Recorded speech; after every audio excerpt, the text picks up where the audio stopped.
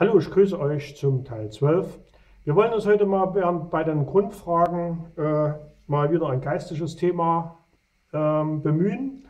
Und zwar ist es eben das Hören auf geistliche Eindrücke und auch, ähm, wie man den Passivismus überwinden kann. Äh, das ist natürlich für Leute, die, äh, naja, mit christlichen Themen oder auch mit, mit altgermanischen Themen überhaupt nicht vertraut sind, ein bisschen schwierig.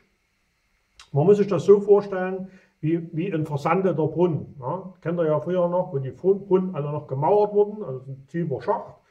Unten äh, sind in der Regel Steine oder das Grundgestein gewesen und da sammelt sich dann mit der Zeit das Wasser. So, und da muss man, äh, wenn der, auch wenn man jetzt kein Wasser entnehmen muss, muss man immer regelmäßig Wasser entnehmen aus dem Brunnen, weil sonst sammelt sich unten Sand und Schlick und dann kann man, wenn man wirklich Wasser braucht, eben dort kein Wasser mehr entnehmen. Also alter Brunnenbauer weiß das, dass man immer mal ja, einmal der Woche dort mal eine größere Menge Wasser rausnehmen muss, damit die, die Kanäle, die das frische Wasser durchspülen, dann sich öffnen und dann Wasser hat, wenn man Wasser braucht. So, und so eine ähnliche Geschichte äh, passiert ja auch, wenn man, wenn man sich zum Beispiel in der Kirche hat taufen lassen.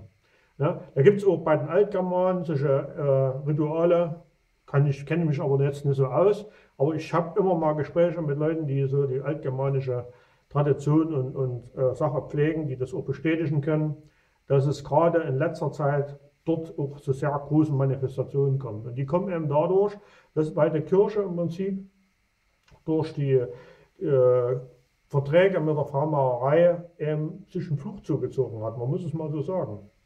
Es kam zu einer Massenauswanderung aus der Kirche, es kam zum Einschleppen von unbiblischen Lehren. Ne? Und da gehört eben auch diese falsche und äh, verlogene Tauflehre zustande. Ne? Man wisst ja selber, wenn ihr Kinder habt, äh, die in der, in der Schule dann in das Alter der Konfirmation kommen, dass sie dann alle so in der Kirche so konfirmiert werden und äh, dort eine feuchte Segnung kriegen. Ne? Also da, wo der Pastor dann hier in das Taufbecken reinlangt und so die mit Wasser beträufelt, das hat mit einer Taufe überhaupt nichts zu tun. Ne? Da werden die Leute in einem Glauben gelassen, dass sie eine christliche Taufe erhalten haben, das ist überhaupt nicht der Fall. Man muss einfach wissen, dass in den vielen Jahrhunderten von, von Jesus an bis heute es immer wieder zu Einflüssen falscher Lehre gekommen ist und äh, dass vor allem eben durch den Einfluss der katholischen Kirche eben aus, dem, aus der Schwarzmagie und aus dem babylonischen, äh, dem äh, schwarzmagisch-babylonischen Bereich äh, dort gewisse Dinge über, übernommen wurden, zum Beispiel aus dem Isis-Kult. Und dort war es immer so, dass dort mit einer Art Weihwasser dort alles besprengt wurde. Aber das ist eben kein christliches Weihwasser, sondern das ist äh, heidnisch. Ne? Und die katholische Kirche hat das sich reichlich bedient. Und äh, das hat sich eben dann auch auf die evangelische Kirche und alle anderen ausgewirkt. Außer die Kirchen, die haben gesagt, wir machen das nicht mit. Wir haben weiterhin die normale Taufe mit Untertagen. Das ist also bei den Baptisten so, das ist bei fast allen Freikirchen so und das ist auch ähm, bei der Kirche, wo ich früher war, ähm, so gewesen und ich bereue es auch heute nicht. Ich habe einfach durch meinen Dienst bin ich so eingebunden, dass ich dort auch nicht jedes Mal hinfahren kann, weil es ein Stück weit weg, ne, 40 Kilometer weg. Und da habe ich einfach nicht die Zeit dazu. Aber ich kann nur empfehlen, also wer dann wirklich äh, nur eine feuchte Segnung hatte, dann sich mal eine ordentliche Taufe reinzuziehen, weil es eben mit diesem versandeten Brunnen zusammenhängt. Äh, das hat einfach äh, den Grund, ähm, weil ja diese nicht-biblische Taufe einen heidnischen Hintergrund hat. Und äh, da entsteht so ein versandeter Brunnen. Das Wasser kann nicht nachfließen, weil eben der Zulauf verstopft ist. Und wenn, wenn da was passiert, dann ist das wie ein feuchter, feuchter Sand. Also man ahnt, dass da irgendwo was ist, da könnte was sein. Aber wenn man dann Wasser ziehen will, kommt keins. Ne? Und da gibt man dann Gott die Schuld, ja, wie konntest du mich dann entleihen lassen, wie, wie konnte ich denn hier in die Situation geraten? Aber im Prinzip hat man ja selber die, den Grundstein dafür gelegt, dass es einem schief geht. Ne? Da haben wir eben keine Unterstab hatte. Und ich habe ja beides erlebt. Ich hatte ja so eine Erwachsenentafel, wo es eben auch nur mit Besprengen geht. Und ich habe dann irgendwann mich belesen und habe auch mit anderen Leuten gesprochen. Und ja, da bist du ja der Wiedertäufer und so weiter. Das ist totaler Keks, weil die erste Tafel ja schon mal keine richtige war. So, und dann habe ich eine ordentliche Tafel gemacht und dann habe ich erstmal den Unterschied zwischen dem versandeten Brunnen und dem mit Wasser gefüllten Brunnen gemerkt. So, und dann hatte ich die Gaben, die ich erst wenig hatte, sehr viel stärker geweckt und habe noch ein paar dazugekriegt. So, es gibt ja insgesamt 30 geistliche Gaben, die man mit einer ordentlichen Taufe haben kann. Und viele haben auch von klein auf gewisse Begabungen. Viele Begabungen sind auch natürlich, aber viele sind übernatürlich. Ja. Es gibt auch viele, die damit Geld machen. Es gibt auch eine ganz klare Warnung. Also wer zum Beispiel die Heilungsgabe hat, also wer die Heilungsgabe zu Geld machen will, auf, darauf liegt ein Fluch. Das ist aber auch nur die, die, äh, die für die Gabe ähm, so besonders herausgestellt. Es gibt aber auch die vielen anderen Dinge, wo ähm, Leute eine seltene Gabe haben und dann die dort zu Geld machen. Aber das ist ein Geschenk, dass man in der Gemeinde oder in der Gemeinschaft, die man ist, ob das jetzt eine christliche Gemeinde ist oder eben so ein, äh, ein, ein, ein Freundeskreis, wo man sich hilft, ist erstmal zweitrangig. Entscheidend ist, dass man eine Gabe bekommen hat, mit der man auch den Menschen dienen soll. Ja. Die einen haben eben die Gabe, Lehrinhalte sauber rüberzubringen. Ja, also die, äh, die können eben ein schwieriges Thema so aufbereiten und so erklären, dass es die Leute auch verstehen. Ja. Und, und, dann gibt es eben Leute, die äh, Lügen enttarnen, ne? die also ein Gespür dafür haben, wenn sie angelogen werden. Dann gibt es Leute, die, äh, ja, was, haben wir, ähm, was wir jetzt in nächster Zeit uns erwartet, Ihr wisst ja, dass hier äh, eine, äh, derzeit ein Video die Runde macht mit den Schmidta, also diesen äh, vier Blutmonden, wo der letzte dann irgendwann im September diesen Jahres wohl sein soll. Also ein herausragendes Ereignis, was auch in der Bibel erwähnt wird, dass das noch kommt. Äh, wobei wir nicht wissen, ob nun das Letz-, die letzten vier Blutmonde sind, aber es ist im Laufe der letzten 100 Jahre so ein herausragendes Ereignis, was jetzt von den, wo viele sagen, ja, das ist ähm, auch der letzte Papst, ne, weil es gibt ja die, die acht Könige aus Offenbarung 17 und wir haben ja jetzt den achten König, der letzte Papst. Das ist also Papst Franziskus und über den ist ja in der Bibel geweissagt, dass er in die Hölle fährt, weil er sich mit schwarzmagischen Sachen eingelassen hat. Da fragt man sich, na, wie kann denn der Papst sich damit einlassen? Na, man muss einfach wissen, dass der derzeitige Papst ein Jesuitengeneral ist. Und Jesuiten ist eine satanische äh, Glaubensrichtung, die sich in der Kirche breit gemacht hat und äh, haben den Spitznamen der Giftmörderorden des Vatikans. Ne? Die sind also für die Revolution verantwortlich, auch für die Oktoberrevolution sind hauptsächlich die Jesuiten im General, also die Jesuitengenerale des Vatikans, die, die das, äh, den russischen Zahn ermordet haben. Und äh, Lenin war ja einer dieser Jesuiten, das ist kaum bekannt. Viele denken ja, das war nur äh, äh, Kommunist. Aber der Kommunismus ist eben nur das Vorgestell des, des Jesuitentums. Und in Wirklichkeit steckt da der Vatikan dahinter. Man will es kaum glauben, aber zusätzlich zu dem ist es auch eine Erfindung de, de, des Geldadels, ne? die also den Kommunismus als eine künstliche Weltreligion geschaffen hat, als Antithese zum Kapitalismus ja, und die schrecklichen Auswirkungen wissen wir ja. Stalin, die Mobilmachung, die dann letztlich zum Zweiten Weltkrieg geführt hat. Ja, und viele Kriege der Neuzeit, die alle ähm, von dem industriell-militärischen Komplex äh, provoziert und gesteuert werden, der unter freimaurerischer Kontrolle ist. Ja, das muss man einfach wissen. Ja, und diese Ereignisse, ja, das ist ja alles, jedes Mal sterben Menschen, jedes Mal ist Elend auf der Welt das bleibt dann nicht ungestraft. Ne? Also wer Gott spottet und äh, der muss damit rechnen, dass er dann auch irgendwann einmal bestraft wird. Und diese ganze schwarzmagische und, und bösartige Energie tritt eben in diesem Jesuitengeneral, der sich dann noch als, als Vertretung Gottes hier darstellt, eben zutage. Und da gibt es dann eine Antwort, die sicherlich von Gott kommt, so steht es in der Bibel. Da kann man auch sagen, ja, ich bin äh, aufgeklärter Mensch der Neuzeit, ich glaube daran nicht. Also ich halte mich immer an die Wahrscheinlichkeiten aus der Mathematik. Wenn ich in der Vergangenheit gesehen habe, dass ähm, 2040 äh, Mal ununterbrochen immer wieder das eingetreten ist, was in der Bibel als Vorhersage passiert ist, dann ist es aus rein mathematisch-wissenschaftlicher Sicht, die, das ist also eine These, die der Professor Dr. Gitt mal entwickelt hat, unlogisch äh, anzunehmen, dass es beim, beim N plus 1. Mal eben nicht eintritt. Die Wahrscheinlichkeit dafür ist extrem gering.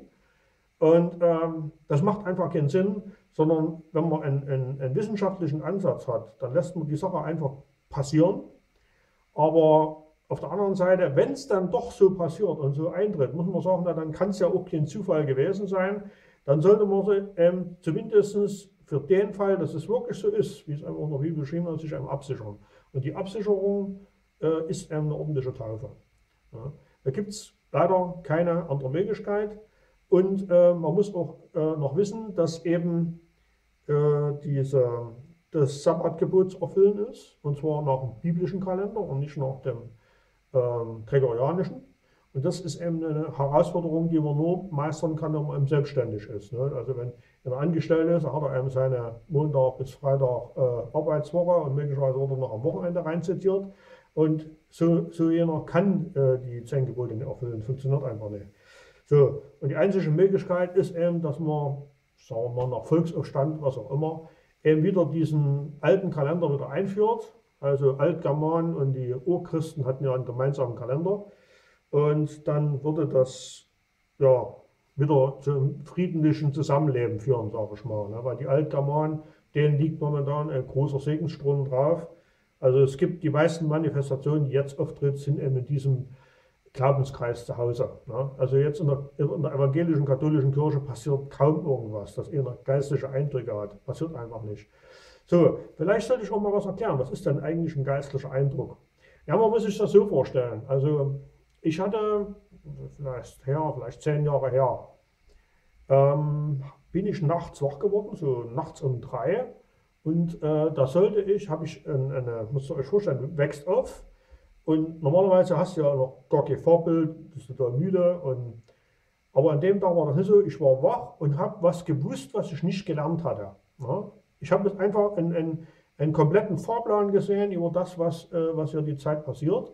Also in der Zeit das war so um, um, um 2002 rum und dann noch einmal 2004, wo ich diese, diese äh, Finanzkrise gesehen habe, auch die ganzen Auswirkungen, auch diese, dieses Flüchtlingsdrama, was wir heute erleben. Das sollte ich aufschreiben und sollte es bis äh, 9 Uhr dem Pastor übergeben, damit das als Lehrer geprüft werden kann.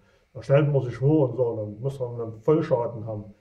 Aber ich habe eben in der Vergangenheit äh, gelernt, dass wenn man auf solche geistlichen Eindrücke erst einmal reagiert, also erstmal nicht grundsätzlich in, in Zweifel stehen, sondern erstmal so weit geht, wie die Sache logisch ist. Und sagen wir mal, so einen geistlichen Eindruck, den man hat, niederschreiben, das ist ja nichts Ungewöhnliches, sage ich mal. Ne? Man muss es einfach nur machen. So, dann haben wir es aufgeschrieben, damit das nicht verloren geht. Und dann habe ich schon gemerkt, wie, ja, wo ich gemerkt habe, ich habe es eigentlich alles jetzt beschrieben, was du gesehen hast. Und dann war das auch wie weg. Ja? Ähm, also man hat nicht den Eindruck gehabt, als hätte ich das auswendig gelernt, sondern das Wissen, das war wie so ein Block. Jedes Mal, wenn du das abgeschrieben hast aus einem Block, dann wurde der kleiner und wenn der dann weg war, hast du den Eindruck gehabt, dass das, was, äh, was du gesehen hast in, deinem, in deiner Vorstellung, äh, dass das äh, vollständig und richtig war. Wenn dann irgendwas war, hat sich das meiste ein bisschen anders noch dargestellt und da hat man dann nochmal korrigiert. Ne? So. Bis es dann rund war. Wenn es rund war, war, die, war der Eindruck nicht mehr da. So, und da habe ich also das hinbekommen. Das ist ja nicht meine Leistung gewesen. Also es war dann so, dass es eben auch so beschrieben war, wie es dann auch später 2007, 2008 eintrat. Und ähm, das ist aber eben keine Leistung, die von mir ist, sondern die eben aus einer Taufe stammt, die, die ordentlich war. Und, und äh, wenn, man, wenn man das einmal gemacht hat und immer so einen, so einen geistlichen Eindruck erlebt hat und dann die Bestätigung dafür kriegt, ne? ich bin also dann dadurch dass ich ja erstmal früh die, diesen Eindruck abgearbeitet ein bisschen später auf Arbeit gewesen. Ich konnte mir dort die Zeit ein, war freier Mitarbeiter. Und ich bin rein und äh, in dem geistigen Eindruck äh, hatte ich auch dann noch gesehen, dass mir jemand dort um neun was übergeben will. Ich sollte also dann auch hingehen und ich dachte, um neun, was ist denn um neun? Ich habe keinen Termin heute, ich gehe erst mal auf Arbeit, vielleicht klärt sich das. So, ich gehe da hin und da kommt mir jemand entgegen, ein Freund, und da sagt er, hier, guck mal, ich habe eine Videokamera, die ist mir ins Wasser gefallen, ja, beim Rafting, da ist sie unten aufgeschlagen. Und ob ich sie reparieren könnte. Ich sage, ja, kann ich, äh, kann es versuchen. Ich habe zwar noch keine Videokamera repariert, aber ich kann es versuchen. Dann habe ich die aufgeschraubt und habe ich auch so wieder gesehen, was ich da der Reihe nach auch mal prüfen und messen sollte. Und habe ich die dann auch reparieren können. War auch für mich eine richtige Bestätigung und Erfolgserlebnis. Ja, und dann hat er die dann ein paar Wochen später wieder über Bord gehauen, habe ich ihn nochmal repariert und beim dritten Mal, ja, da war sie halt dann Schrott. Ne? Gut, aber das sind so Erlebnisse. Und immer dann, wenn ich in so einer Situation mal wirklich gehorsam genau das gemacht hat, was, äh, was dieser geistige Eindruck auch äh, ausgedrückt hat, dann war das immer ein besonderer Segen. Und immer dann, wenn ich das äh, versägt habe, weil ich gesagt habe, nee, also ich will das nicht und ich schlafe das jetzt und mir ist das alles zu viel und zu viel Stress, dann hat sich das in den, in den Fluch verwandelt. Ne? Also das heißt, äh, wer eine Gabe hat, der hat eben nicht nur eine, eine Aufgabe, sondern eben auch eine Verpflichtung. Ne? Und das, das ist das, was ich vielen immer wieder sage. Ich glaube niemand, keinem Passivisten, dass er keine Vision und keine Aufgabe sieht. Das glaube ich nicht. Weil mir passiert so, ich habe nie den Eindruck gehabt, dass ich irgendwas hätte machen müssen oder tun müssen, was ich nicht irgendwie geleistet habe, wo ich gesagt habe, oh, ich habe jetzt keine Lust. Sondern es war entweder immer an der Grenze meiner Leistungsfähigkeit oder es war mit mehr oder weniger Mühe zu schaffen gewesen. Aber dass ich gesagt habe, ist es zu langweilig, ich weiß nicht, was ich machen soll, ich habe nur Langeweile, ich weiß nicht, was ich tun soll, das ist mir eigentlich in meinem ganzen Leben nicht passiert. Ich habe immer irgendwie zu tun gehabt. So, und ich habe auf die Eindrücke, die ich hatte, auch immer reagiert. Und in ganz, ganz seltenen Fällen habe ich eine negative Bestätigung gekriegt.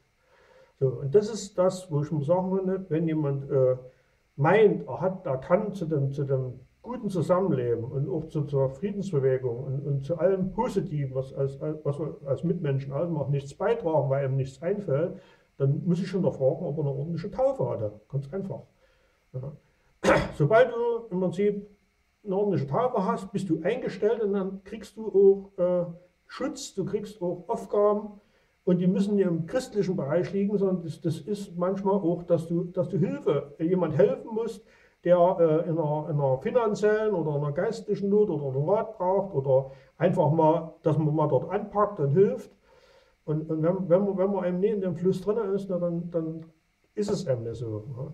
Und äh, gerade die geistlichen Eindrücke können eben auch das Leben retten. Also es gibt viele Berichte von Freunden, die den Eindruck hatten, ich muss jetzt erstmal weg. Und dann ist bei denen zu Hause was Schreckliches passiert, wo, wo wenn sie zu Hause geblieben wären, ähm, und Leben gekommen wären oder was auch immer.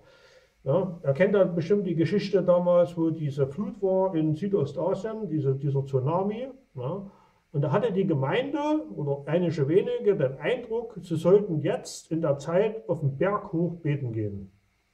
Ja, ich meine, wenn das hier in einer, in einer deutschen Gemeinde passieren war, da würden die so, oh, da spinnt. Aber dort haben die gesagt, also wenn das ein geistlicher Eindruck ist, und es sprach ja auch nichts dagegen, dass das irgendwie was, was Widernatürliches wäre, das haben die einfach gemacht. Und die sind dort hochgegangen und alle anderen, die gesagt haben, äh, ihr habt ja einer eine Waffe, die sind ersoffen. Ja. Und das hat dadurch dort in der Gemeinde ähm, das gestärkt. Ne? Dass man, das eben geistige Eindrücke, also wenn man den, den geistigen Eindruck, du sollst jetzt hier von dem Ort weggehen oder du sollst zu dem Ort hingehen, ist es immer eine Sache, die man erstmal grundsätzlich auf, auf, auf Gefahren abchecken muss, aber es liegt immer Segen, wenn man solche, ich sag mal, aus dem Bauchgefühl heraus Eindrücke erstmal macht. Ja?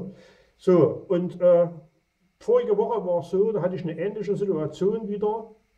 War nachts um drei wieder wach und äh, hatte eben wieder hier diese, diesen Block äh, an, an, an Wissen, wo ich schon sagen, das hast du dir doch als kein Buch angelesen. Aber es ist da. Dann habe ich das auch wieder kurz aufgeschrieben. Und äh, ich war drauf und dran, äh, ich sollte was zu dem Thema Passivität sagen oder machen. Ich habe gesagt, Mensch, guck mal auf die Uhr, nachts um drei und so weiter. Und Mensch, muss denn das sein? Kann ich das nicht irgendwann mal das überkriegen, wenn ich Zeit habe. Und, und na, es müsste eben da die Zeit sein. So, dann habe ich natürlich was gemacht, habe eine Kamera eingerichtet und alles und Licht eingerichtet, was ich eben so mache, wenn ich die Videos mache.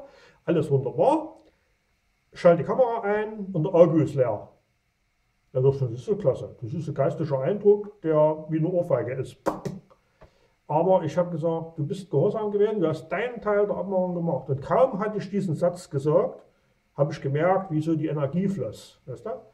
Ich weiß ob ihr das kennt, dass sich hier so die Nackenhaare aufstellen. Ja? Wenn ihr das so guckt, ne? die stehen dann alle in Reihe und Glied. Und da weißt du, dass die Energie dir in dem Moment zufließt. Und wenn sowas passiert, dann ist das immer, ähm, man muss sich vorstellen, wie bei einem Wettkampf, wo du dich qualifizieren musst und dann für jeden Qualifizierungsschritt oder jeden Teillehrgang immer so einen Sticker geklebt kriegst. Ne?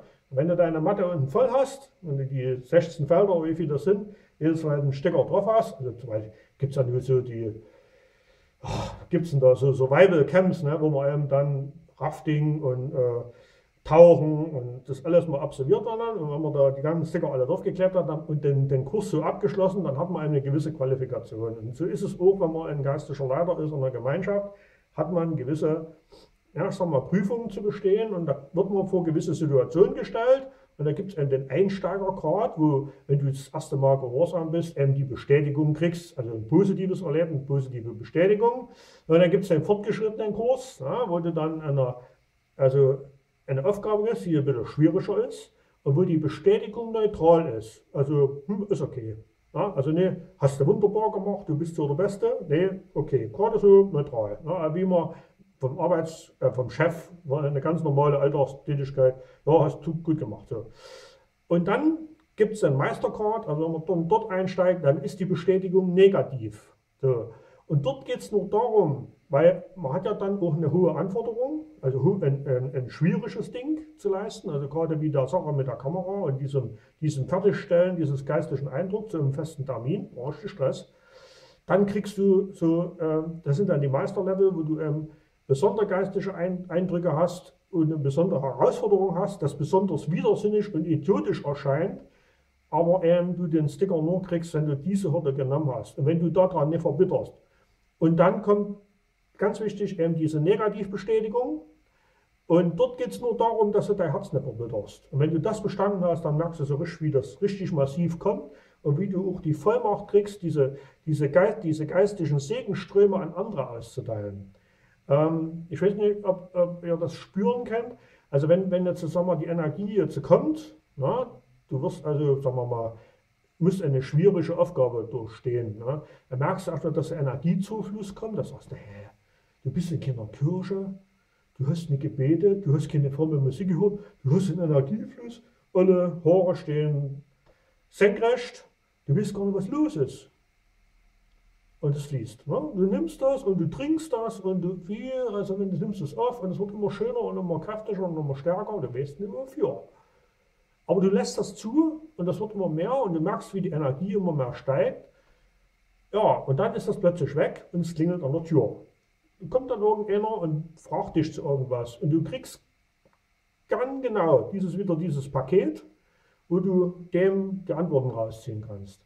Und das ist eben das, was du erst kriegst, wenn du eben diese, diese, diese Level hinter dir hast. Ne?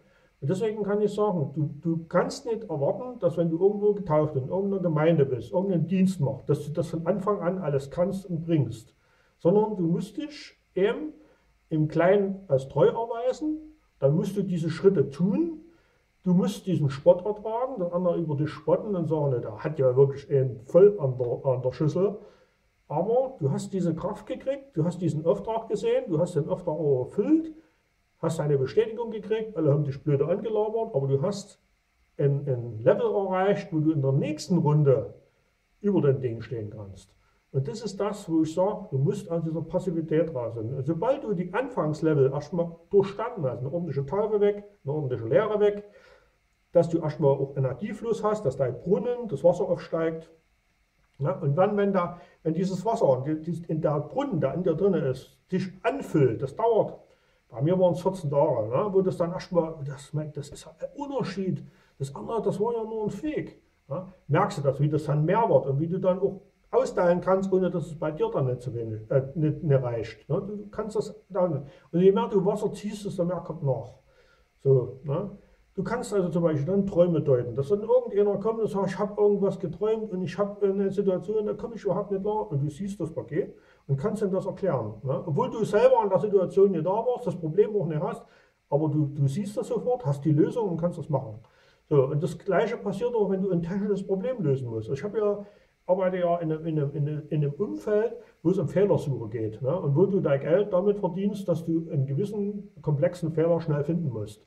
Ja, und da brauchst du das auch tagtäglich von deiner Arbeit, damit du in einer produktiven Zeit Probleme lösen kannst. Und es ist auch nicht nur, dass es ein technisches Problem ist, es musst auch manchmal betriebswirtschaftliche Probleme lösen, wo dich der ja, Geschäftsinhaber eben auch mal anliegt, weil er sagt, ja, ich habe mal hier Erfolg und dort Erfolg und dort Erfolg, wo du das Paket hast, wo drinnen steht, der haut dir die Taschen voll, der will wissen, ob du fit bist.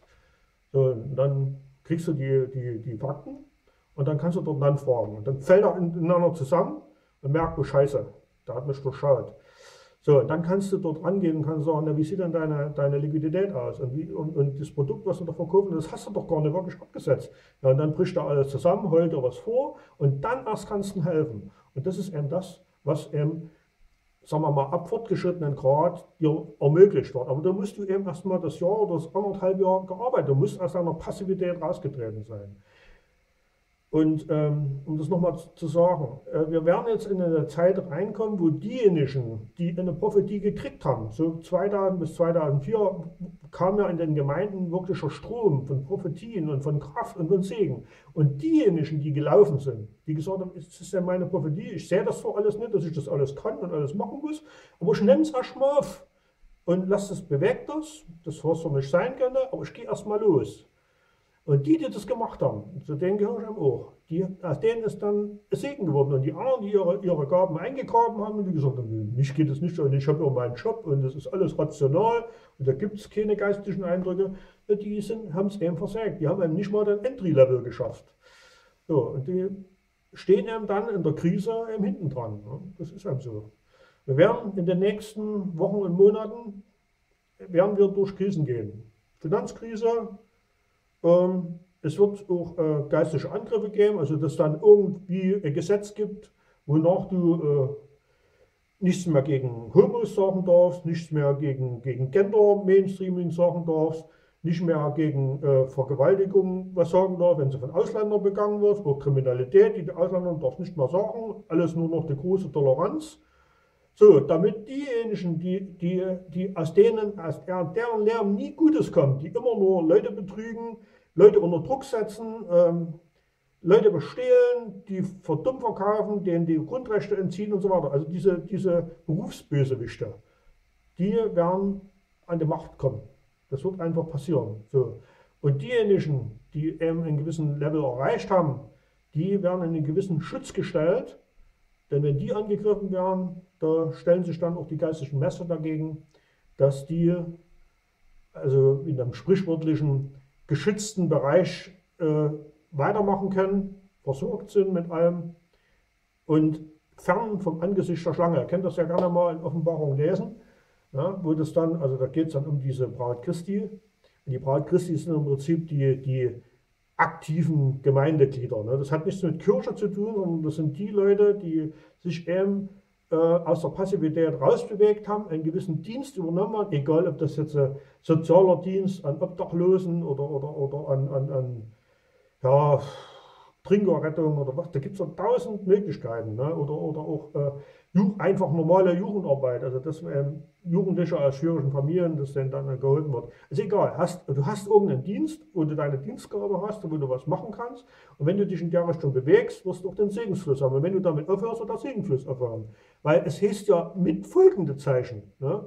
Es äh, ist ja nicht so, dass du, dass du das ausgeschüttet kriegst und dann immer wieder dazukommst, sondern nur dann, wenn du dich bewegst, kommt auch der Segensfluss. So, und wer das eben nicht leben will und wer da sagt, nee, das ist mir alles nichts und äh, ich, das ging auch so und es auch weiterhin so gehen, der typische Passivist, der kommt in der Zeit des Antichristen unter die Räder. So, und es steht ja auch in der Offenbarung ganz klar da, dass es eben die Lauen erwischen wird. Ne? Nicht die, die äh, voll dafür sind oder voll dagegen, ja, die voll dagegen sind, die, die äh, werden eben halt vernichtet. Ja, wenn, wenn, wenn dann die versprochene Wiederkunft kommt und die dafür sind, die werden gerettet. Und alles, was dazwischen ist, die werden aufgerieben. Ja, das sind eben die Verluste, die da, die da sind. Bis sie sich für eine von den beiden Richtungen entschieden haben.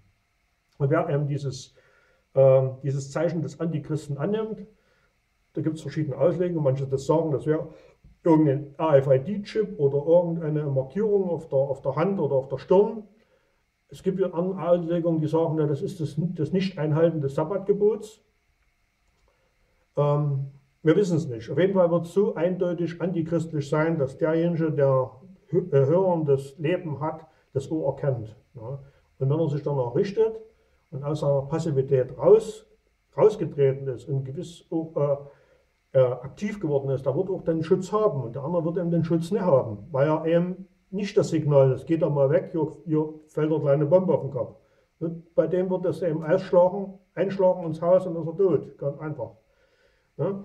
Und man hat ja in der Bibel immer viele äh, Sachen, wie zum Beispiel Lot ne, in Sodom und Gomorra. Da hat den, den klaren, die klare Ansage gekriegt, geh aus diesem Haus raus. Das war ja bei dem, war das ja damals durch die Homosexualität, wurde er da ja bedrängt, dass er dann hier seine Frau und seine Familie für diese Gesellschaft da zur Verfügung stellen. Er hat sich da geweigert und dann wurde die ganze Stadt mit Blindheit geschlagen. Das könnt ihr alles mal nachlesen.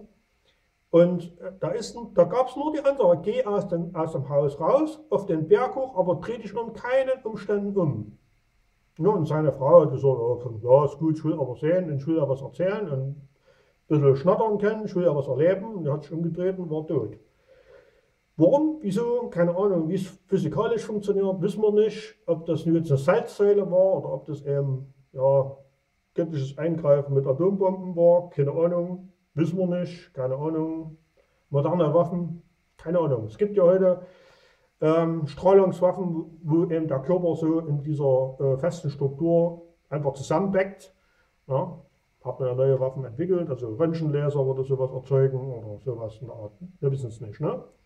Und ähm, gut, und das ist in Sodom und Gomorra gegeben hat, hat man ja an dieser verbrannten geologischen Schicht gesehen wo man einem auch nicht weiß, wie, wie man das deuten soll, ob es ein Meteoriteneinschlag war oder einem viele runtergekommen sind. Jedenfalls sind eben die zwei Orte dort vernichtet und dieses eben auch überliefert.